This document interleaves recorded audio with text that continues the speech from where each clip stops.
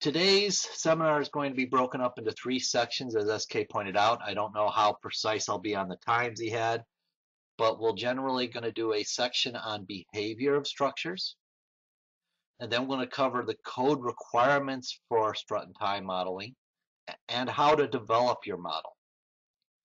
And then we're going to do an example and a summary of kind of higher end topics. Let's start with the kind of the crawl before we even walk or run. We all understand shear. We learned it heavily in school. What we have here up on the screen is a piece of wood modeling a continuous concrete beam. We have a hook on it where we can apply some load. But we've done something interesting. We have saw cut along this black line a crack. I completely broke the piece into two pieces, put a little hinge on the top of the compression zone. And then we've also drilled a hole vertically through this piece of wood and threaded a bungee cord through there, mimicking a stirrup with a knot on the top and a knot on the bottom. And it's symmetric about the center line at this location, at the point of the load. So what happens if we apply load on this type of structure, mimicking a concrete beam with a pre-existing crack? Well, it's able to carry load. As we apply load to it, the crack opens up, but that stretches the bungee cord. And this type of philosophy is a great way just to even think about, not even talking about strut and tie, but how do stirrups work?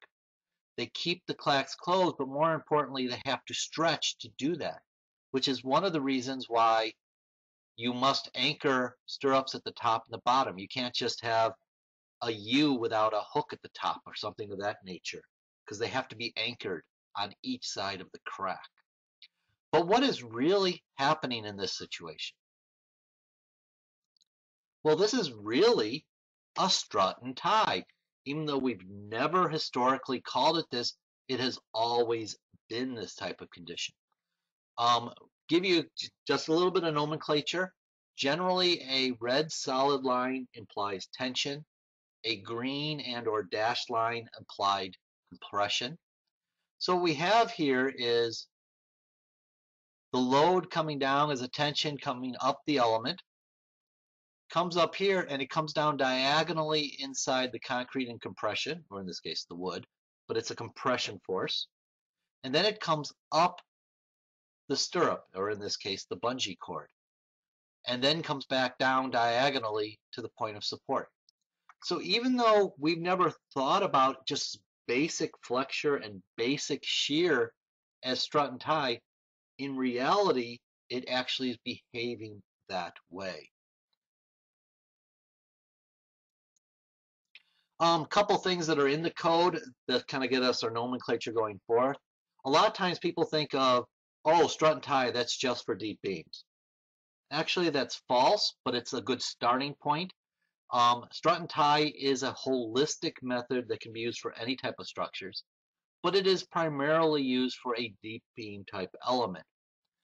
And so in ACI 318, specifically 11, they've come up with a consistent definition for deep beams. And that's where the span, clear span, is less than four times the height of the beam, such that these struts and ties may develop. So the code has a very simple line in it that says deep beams shall be designed either by taking into account nonlinear distribution of strain or by Appendix A. Well, I don't know about you, but I do not have a nonlinear distribution of strain finite element software on my desktop. A lot of universities do not have those type of tools. So even though two options are given in the code, the really only option for these deep, deep beams with the span to depth ratio of 4 is to go to Appendix A. And you're going to say, oh, well, I've always designed deep beams by this cookbook method that's in the code. That occur that was in the code in the 99 code and prior editions. But between the 99 code and the 02 code, that entire section was voted out of the code and replaced by that section we just quoted where you have the two options.